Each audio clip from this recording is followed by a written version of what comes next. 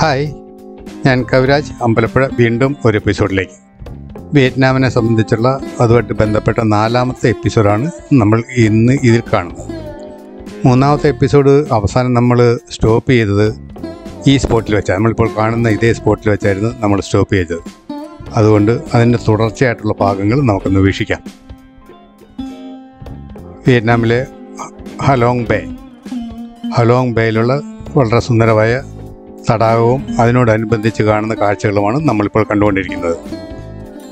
ഈ തടാകത്തിന് ഞാൻ നേരത്തെ പറഞ്ഞിരുന്ന പോലെ തന്നെ ചുണ്ണാമ്പിൽ പ്രകൃതി നിർമ്മിച്ച വളരെയധികം കുന്നുകൾ ഉണ്ട്. ഓരോ ദ്വീപുകൾക്ക് സമൂഹമായിട്ടുള്ള ദ്വീപുകളെന്ന് പറഞ്ഞാൽ അവിടെ മനുഷ്യവാസങ്ങളൊന്നുമില്ല താമസ സൗകര്യമൊന്നും തന്നെ ഇല്ല ഇതുപോലെ ഈ കാണുന്ന പോലെയുള്ളതാണ് അതിന്റെ ആകൃതി. ഓരോരോ കുന്നുകളായിട്ട് മാത്രമേ കാണാൻ സാധിക്കുന്നുള്ളൂ. അതെല്ലാം ഈ ചുണ്ണാമ്പ് കല്ലിൽ പ്രകൃതി നിർമ്മിച്ചതാണ്. നിർമ്മിക്കപ്പെട്ടതാണ് അല്ലെങ്കിൽ ഉയർന്നു വന്നതാണ് അല്ല ഇതുപോലെ പ്രകൃതിത്യ ഉള്ള ഒരു സംഭവം തന്നെയാണിത്. ഇതിന്റെ ഭംഗിയും കാര്യങ്ങളൊക്കെ കുറച്ച് നമുക്ക് ആസ്വദിക്കാം. ഈ തടാകത്തിൽ വരുമ്പോഴത്തേക്ക് ഒരു പൂൾ എന്ന് വേണേൽ നമുക്ക് നമുക്ക് വേണേൽ പറയാം. ഞങ്ങൾ വരുന്നതിന് മുൻപ് തന്നെ വളരെയധികം ആൾക്കാർ ഇവിടെ വന്നിട്ടുണ്ട്. കയാക്ക് ചെയ്യുന്നവർ വളരെയധികം ഉണ്ട്. ഒറ്റയ്ക്കും കൂട്ടമായും രണ്ടുപേർ കൂടിയും നാലുപേർ കൂടിയും മറ്റും കയാക്ക് നടത്തുന്ന ഒരു പ്രധാനപ്പെട്ട സ്ഥലമാണിവിടെ. വളരെ നിശബ്ദതയും വളരെ തെളിഞ്ഞ വെള്ളവുമാണ് ഇവിടെ കിട്ടുന്നത്.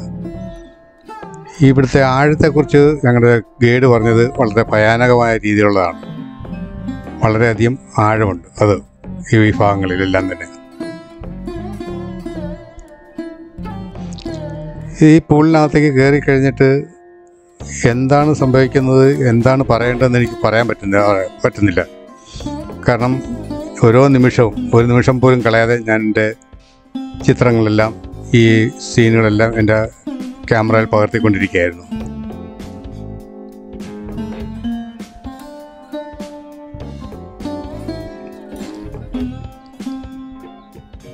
പ്രേക്ഷകരായ നിങ്ങൾക്കും ഇത് വളരെ ആഗ്രഹത്തോ വളരെ പ്രാധാന്യത്തോടു കൂടി വളരെ സന്തോഷത്തോടു തന്നെ കാണാൻ പറ്റും. അല്ലെങ്കിൽ സന്തോഷിക്കുക ഭാഗങ്ങൾ കണ്ട് സന്തോഷിക്കാൻ പറ്റും എന്നുള്ളത് തീർച്ച വിശ്വാസത്തോടു കൂടി ഞാനിത് തുടർന്നും കാണിച്ചുകൊണ്ടിരിക്കുകയാണ് കുറച്ചുകൂടി.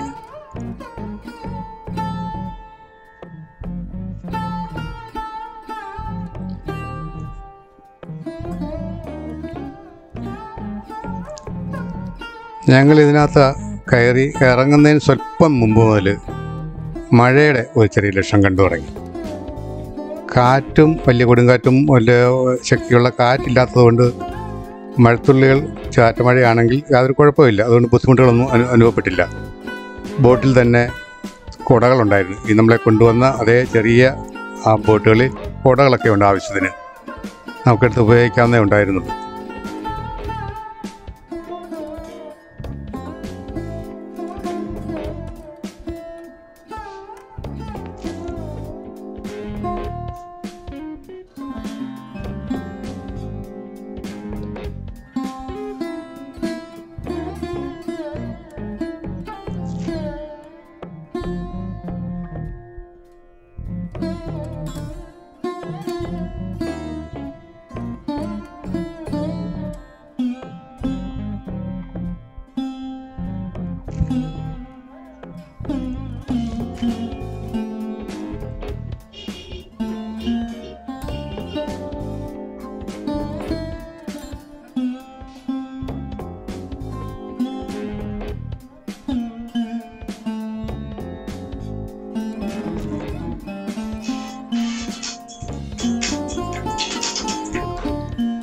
ഇപ്പോൾ സമയം ഏകദേശം പത്ത് മണി കഴിഞ്ഞു.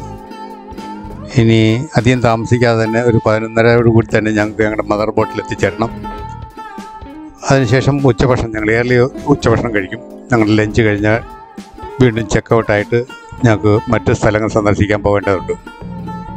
കാരണം ഒരു മണിക്ക് മുമ്പായിട്ട് ഞങ്ങൾ ചെക്കൗട്ടായെങ്കിൽ മാത്രമേ ക്ലീനിങ്ങും മറ്റു കാര്യങ്ങളും നടത്തി രണ്ട് മണിയോടുകൂടി പുതിയ ടൂറിസ്റ്റിനെ അല്ലെങ്കിൽ പുതിയ വിസിറ്റേഴ്സിനെ പുതിയ പാസഞ്ചേഴ്സിനെ ഈ ബോട്ടിൽ അക്കോമഡേറ്റ് ചെയ്യാൻ പറ്റത്തുള്ളൂ മദർ ബോട്ടിൽ അതുകൊണ്ട് ഞങ്ങൾക്ക് നേരത്തെ പോകേണ്ടതുണ്ട്. മഴ ചാരി തുടങ്ങിയിട്ടുണ്ട് കേട്ടോ മഴ അല്പാൽപ്പായിട്ട് ചാരി തുടങ്ങുന്നുണ്ട്.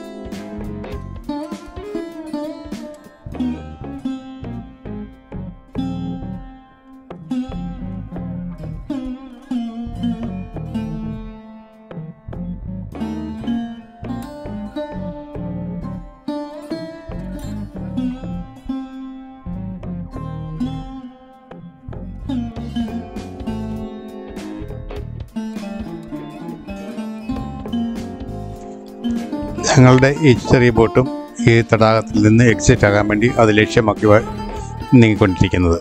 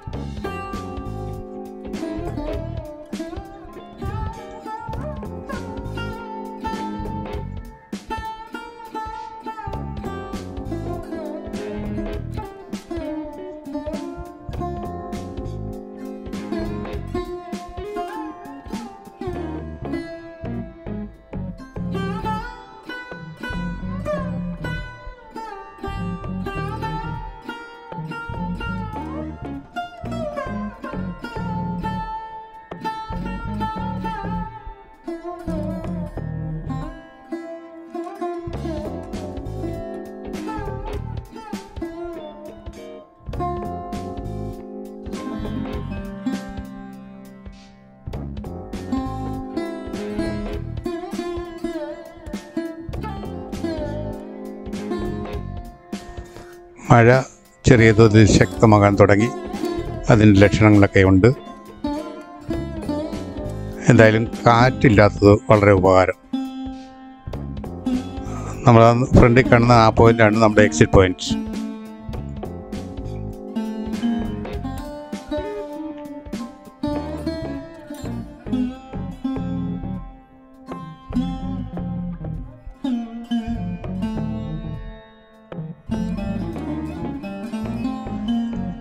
എന്റെ കഴിഞ്ഞ എപ്പിസോഡിൽ അതായത് മൂന്നാമത്തെ എപ്പിസോഡിൽ ഞാൻ ഇത് സ്ഥലത്തിനെ കുറിച്ചൊന്ന് സൂചിപ്പിച്ചിരുന്നല്ലോ.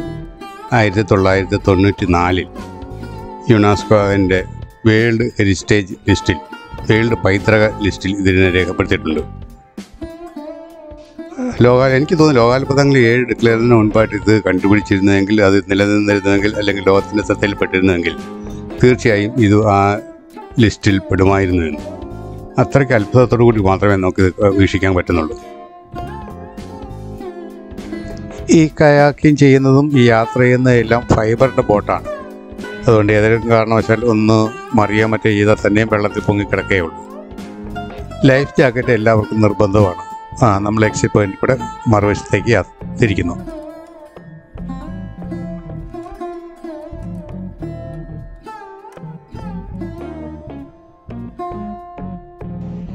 എക്സിറ്റ് പോയിന്റായിട്ട് പ്രവർത്തിക്കുന്ന ആ കവാടത്തിലൂടെയാണ് നമ്മളിപ്പോൾ കടക്കുന്നത്. ഇത് എന്റെ മേൽവശങ്ങളാണ് കാണുന്നത്. ഈ കവാടത്തിന്റെ ഉള്ളിലെ മേൽവശങ്ങളാണ് കാണുന്നത്. ഈ ചുണ്ണാമ്പ് കല്ലുകൊണ്ടായത് കൊണ്ടാണ് ഇത്രയും കാലം പഴക്കത്തോടു കൂടിയാണ് വീഴാതെ ഇത്ര സ്ട്രോങ് ആയിട്ട് നിൽക്കുന്നത് എന്ന് ഞാൻ വിശ്വസിക്കുന്നു.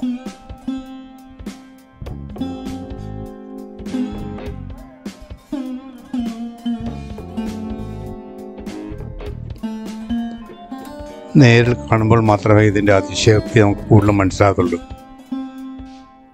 വീഡിയോയിൽ എത്രത്തോളം അതിന്റെ എഫക്റ്റ് നമുക്ക് കിട്ടുന്നില്ല. പക്ഷെ നമ്മൾ നേരിട്ട് കാണുമ്പോഴാണ് നമുക്ക് കൂടുതൽ അതിന്റെ നിർമ്മിതിയെക്കുറിച്ചുള്ള മറ്റ് രീതികളെയും കുറിച്ചുള്ള അതിശോക്തിയോടുകൂടി നമുക്കിത് കാണാൻ സാധിക്കുകയുള്ളൂ.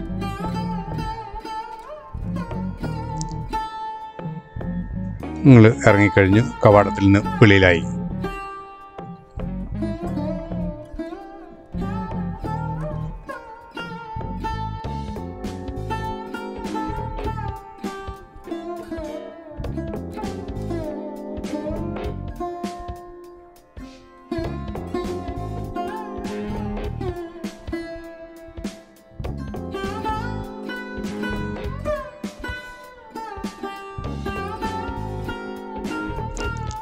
ആ ദൂരെ കാണുന്നതാണ് ജെട്ടി ഫ്ലോട്ടിംഗ് ജെട്ടി.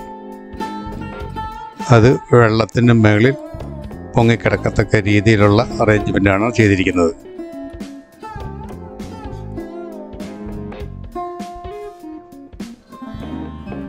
നല്ല തിരക്കുള്ള ദിവസമായിരുന്നു ഞങ്ങൾ പോയത്. വളരെയധികം ഈ ചെറിയ ചെറിയ ബോട്ടുകൾ യാത്രക്കാരെയും ടൂറിസ്റ്റിനെയും കൊണ്ട് ഉള്ളിലേക്ക് പോകുന്നുണ്ട്. കയാക്കിങ് നല്ല കാര്യമായ രീതിയിൽ നടക്കുന്നുണ്ട്. ഞങ്ങൾക്ക് ആ ജെട്ടിയിലാണ് ഇറങ്ങേണ്ടത് ഈ ജെട്ടിയിലായിരുന്നില്ല നേരത്തെ നമ്മൾ കയറി പോയതും ഇവിടുന്ന് തന്നെയാണ്.